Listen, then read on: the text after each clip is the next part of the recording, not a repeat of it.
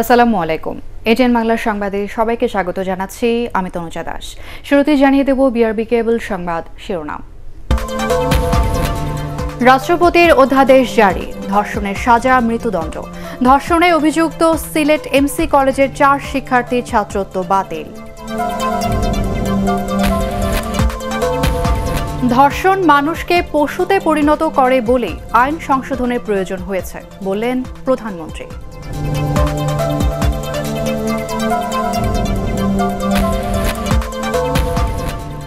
Session জট এড়াতে ঢাকা বিশ্ববিদ্যালয়ে শুরু হয়েছে অনলাইন ক্লাস। সিদ্ধান্তহীনতায় অধিভুক্ত কলেজগুলো শঙ্কায় শিক্ষার্থীরা।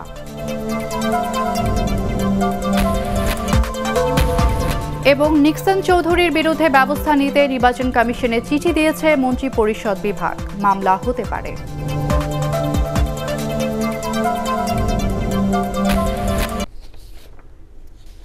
শুনছিলেন বিআরবি কেবল সংবাদ শিরোনাম। এবার বিস্তারিত।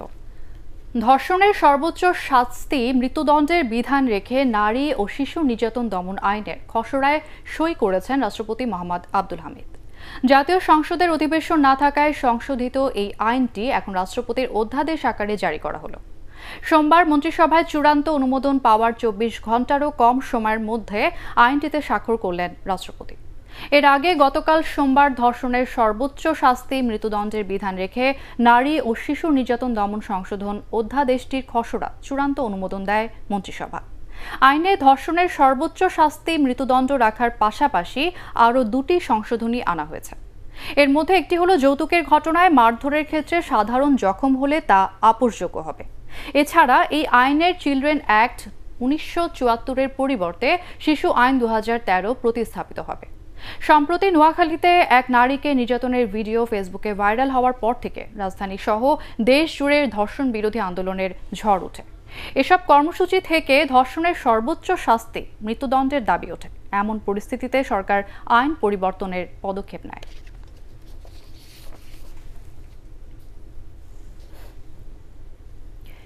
সিলেট এমসি কলেজে গৃহবধূকে গণধর্ষণ মামলার আসামি সাইফুর রহমান, শাহ মাহবুবুর রহমান রনি রবিউল ইসলাম ও মাহফুজুর রহমানের ছাত্রত্ব সাময়িক বাতিল করেছে জাতীয় বিশ্ববিদ্যালয় কর্তৃপক্ষ।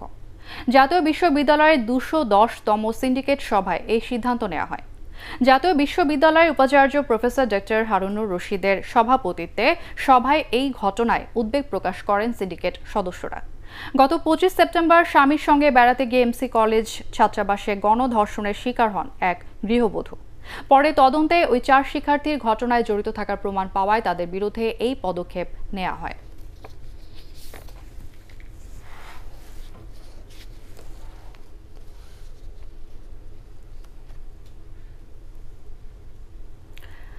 ধর্ষণ মানুষকে পশুতে পরিণত করে বলে আইন সংশোধন করে সাজা, মৃত্যুদণ্ড করা হয়েছে বলে জানিয়েছেন প্রধানমন্ত্রী শেখ হাসিনা। আন্তর্জাতিক দুর্যোগ প্রশমন দিবসের উদ্বোধন অনুষ্ঠানে তিনি বলেন, দেশের সমস্যা দেখা দিলে তা মোকাবেলা ও সমাধান করাই সরকারের লক্ষ্য। দুর্যোগ মোকাবেলায় বিশ্বে বাংলাদেশ দৃষ্টান্ত স্থাপন করেছে বলেও মন্তব্য করেন প্রধানমন্ত্রী। আরও জানাচ্ছেন আপেল মাহমুদ। প্রাকৃতিক দুর্যোগ মোকাবেলায় কার্যকর ব্যবস্থা গ্রহণে গণভবন থেকে ভিডিও কনফারেন্সে আন্তর্জাতিক দুর্যোগ প্রশমন দিবসের উদ্বোধনীতে অংশ নেন প্রধানমন্ত্রী শেখ হাসিনা।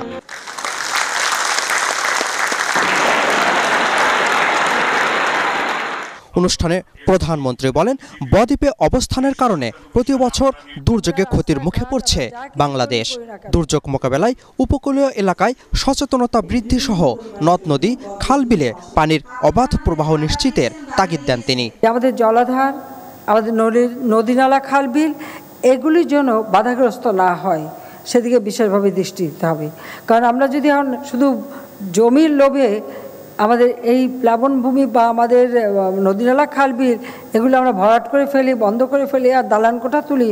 জলবদ্ধতাও দেখা দেবে প্রাকৃতিক ভারসাম্য নষ্ট হবে দেশও ক্ষতিগ্রস্ত হবে।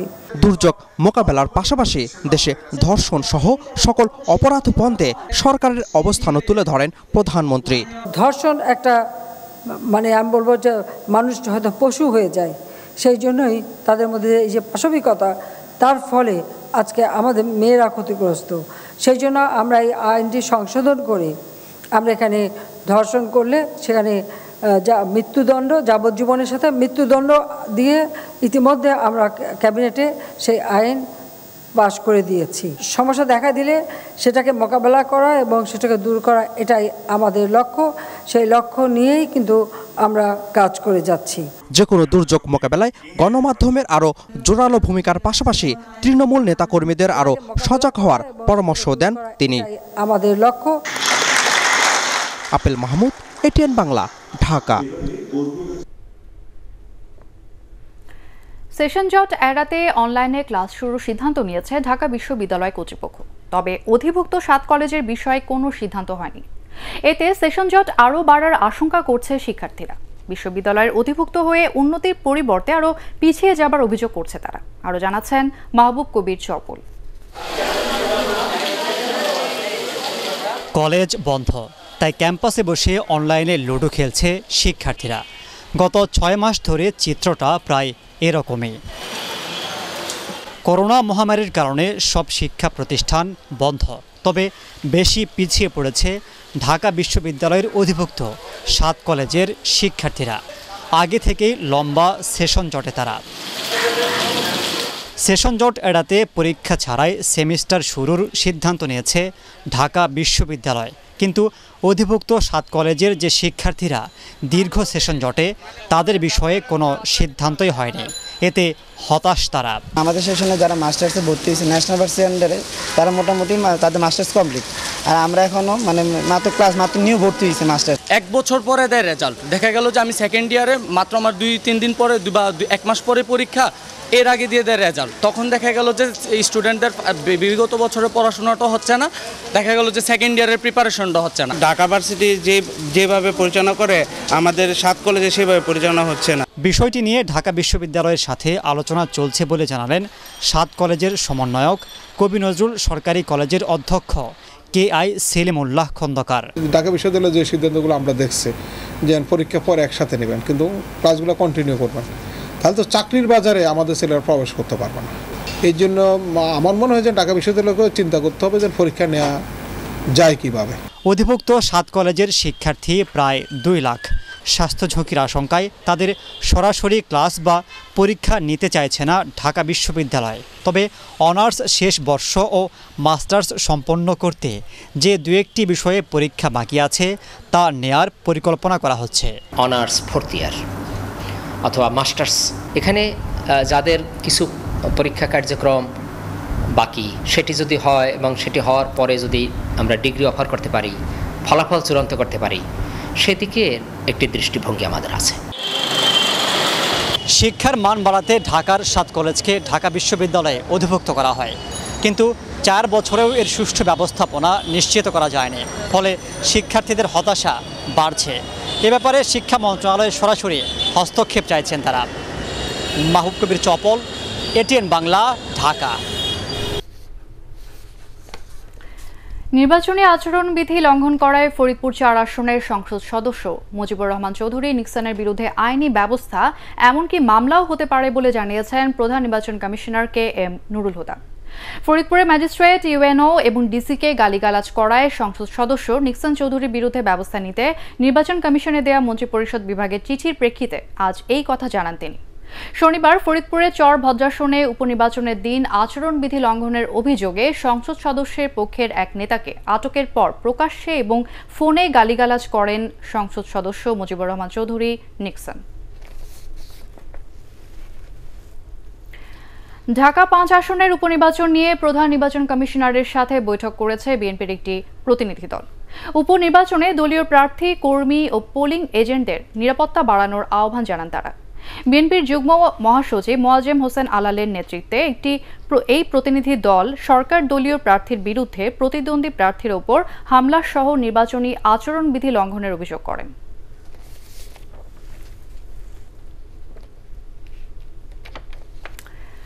যারা সৌদি আরব যাওয়ার ফিরতি টিকিট কেটে দেশে আসেননি, তাদের এখন দ্বিগুণের বেশি দামে টিকিট কিনতে হচ্ছে। চল্লিশ থেকে পঁয়তাল্লিশ হাজার টাকার টিকিট কিনতে হচ্ছে ছিয়ানব্বই হাজার টাকায়। তবে সৌদি এয়ারলাইন্সের অফিসে টিকিট বিতরণ অনেকটাই শৃঙ্খলার মধ্যে এসেছে। আরও জানাচ্ছেন শফিউল আলম সুজন। সৌদি আরব যাওয়ার ভিসার মেয়াদ যাদের তিরিশ অক্টোবর পর্যন্ত রয়েছে, তাদের সৌদি এয়ারলাইন্স অফিসে মঙ্গলবার থেকে ঢুকতে দেয়া শুরু করেছে কর্তৃপক্ষ। যেসব সৌদি প্রবাসীর ভিসার মেয়াদ দ্রুত শেষ হয়ে যাচ্ছে, তাদের অগ্রাধিকার ভিত্তিতে টিকিট দেয়া হচ্ছে। সুষ্ঠুভাবে চলছে টিকিট দেওয়ার কাজ। ভিসার মেয়াদ শেষ হয়ে গেছিল। মালিকরে বইলা তারপরে ভিসার এক মাস মেয়াদ বাড়াইছে। ভোগান্তি তো সাতাশ আঠাশ তারিখতে আসা যাওয়া করতেছে, কিন্তু ভোগান্তি বহুত ভুগছে। আজকা ইনশাল্লাহ সহি সালামতে ভিতরে ঢুকছে। কালকা দুটো ফ্লাইট যদি হয় আমরা করোনার রিপোর্টটা কোন কোন সময় বাই করব আর কোন সময় আমরা যাব? প্রতিদিন যদি দুইশো দুইটা ফ্লাইট হয় তো ছয় থেকে সাতশো লোক যায়। আর টিকিটগুলি কোথায় বিক্রি হয়? অতিরিক্ত টাকা নেয়নি অবশ্যই ভালো লাগছে কারণ অনেকদিন কষ্টের ফসল পাইছি আর কি অনেক। তবে যারা অন্য এয়ারলাইন্স কিংবা ফিরতি টিকিট না কেটে দেশে এসেছেন তারা পড়েছেন পিপাকে। এখন ওয়ান ওয়ে টিকিট কাটতে গিয়ে তাদের দিতে হচ্ছে বাড়তি টাকা। এর জন্য আক্ষেপের কমতি নেই রেমিটেন্স যোদ্ধাদের। আমি নতুন টিকিট দরকার আমার। এখন ভিতরে গেছিলাম বলল বিরানব্বই ছিয়ানব্বই হাজার টাকা নেবে। এখন আমাদের তো ওদের টাকা তো সম্ভব না। মধ্যস্থ ফ্যামিলিতে এখন ছিয়ানব্বই হাজার টাকা বার করা তার খুব কষ্ট। হয়তো তার সুদ নিতে হবে হয়তো নালে তার কারও হালত নিতে হবে। তারপরে সেই জায়গায় যাই সে ইনকাম করবে কত টাকা বেতন আর পাবে? নতুন টিকিটের জন্য বলছি তো টাকা বেশি যাচ্ছে অতিরিক্ত বাইরের চাইতেও। বাড়তি দামে টিকিট কেনার এই বিড়ম্বনা থেকে মুক্তি চেয়ে সংশ্লিষ্টদের দ্রুত পদক্ষেপ নেওয়ার আহ্বান জানিয়েছেন সৌদি প্রবাসীরা। শফিল আলম সুজন এটিএন বাংলা ঢাকা। এবার জানাব শেয়ার বাজারের খবর।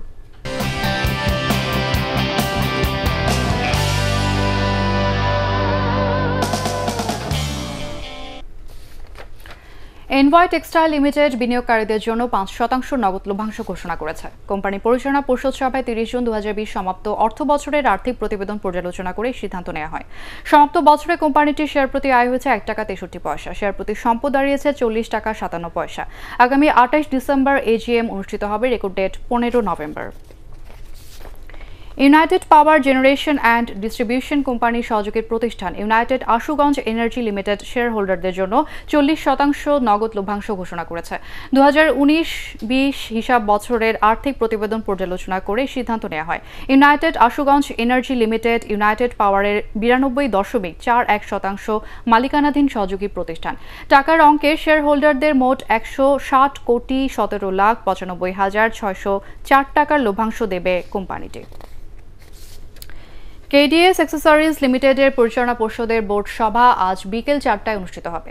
সভায় তিরিশ জুন দুহাজার বিশ সমাপ্ত অর্থ বছরের নিরীক্ষিত আর্থিক প্রতিবেদন পর্যালোচনা করে বিনিয়োগকারীদের জন্য ডিভিডেন্ড ঘোষণা করা হতে পারে। দুহাজার উনিশ সালে কোম্পানিটি দশ শতাংশ নগদ ও পাঁচ শতাংশ বোনাস লভ্যাংশ দিয়েছিল। এবারে আল আরাফা ইসলামী ব্যাংক অর্থ সংবাদ।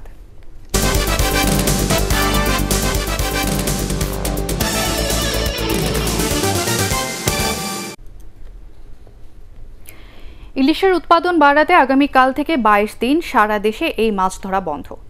এ সময় ইলিশ পরিবহন, বেচাকেনা ও মজুতও করা যাবে না। বরিশালে সরকারের এই কর্মসূচি বাস্তবায়নে এবার সোচ্চার জেলেরা। তবে এজন্য দরিদ্র মৎস্যজীবীদের সহায়তা বাড়ানোর দাবি জানিয়েছেন তারা।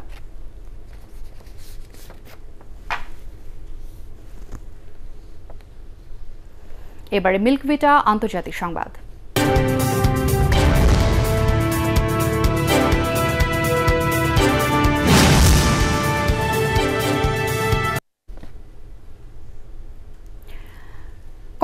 আক্রান্ত হওয়ার দু সপ্তাহ না যেতেই নির্বাচনী প্রচারণায় মাঠে নামলেন মার্কিন president Donald Trump.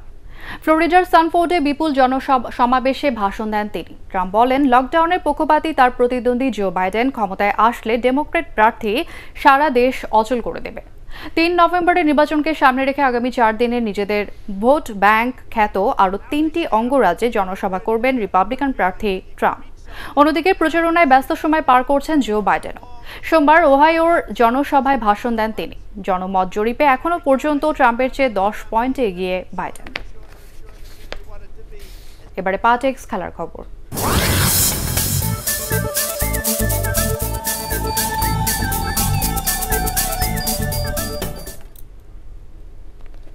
Kolkata knight রাইডার্সকে বিরাশি রানে হারিয়ে শারজায় বিরাট জয় পেল রয়্যাল চ্যালেঞ্জার্স বেঙ্গালুরু বিরাট কোহলির দলের দুই উইকেটে একশো চুরানব্বই রানের জবাবে, নয় উইকেটে একশো বারো রানে থামে KKR.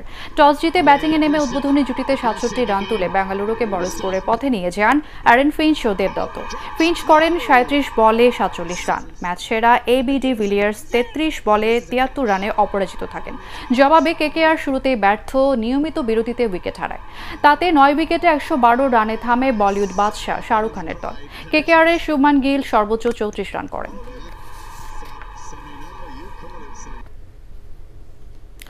Walton allrounder open karate kata চ্যাম্পিয়নশিপে দুই ইভেন্টে ছয়টি ক্যাটাগরিতে অংশ নেবেন মোট একশো জন কারাতেকা। যশোরে জিকরগাছে আগামী সতেরো অক্টোবর শুরু হবে দুদিনের এই প্রতিযোগিতা। এ উপলক্ষে বঙ্গবন্ধু জাতীয় স্টেডিয়ামে এক সংবাদ সম্মেলনে স্পন্সর প্রতিষ্ঠান ওয়ালটনের নির্বাহী পরিচালক ইকবাল বিন আনোয়ার ডন জানান, দেশের সাতটি জেলার কারাতেকারা এই প্রতিযোগিতায় অংশ নেবেন। বিজয়ীদের মডেল, বিজয়ীদের মেডেল ও ক্রেস্ট উপহার দেওয়া হবে।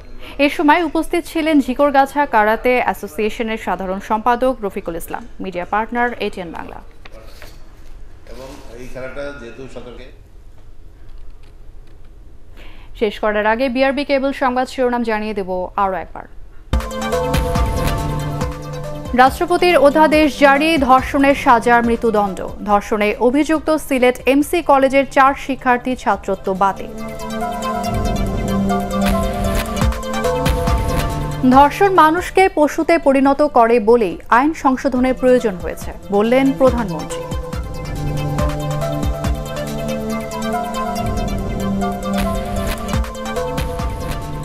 সেশন জট এড়াতে ঢাকা বিশ্ববিদ্যালয়ে শুরু হয়েছে অনলাইন ক্লাস।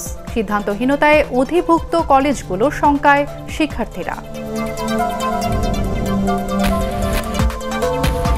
এবং নিক্সন চৌধুরীর বিরুদ্ধে ব্যবস্থা নিতে নির্বাচন কমিশনে চিঠি দিয়েছে মন্ত্রিপরিষদ বিভাগ, মামলা হতে পারে।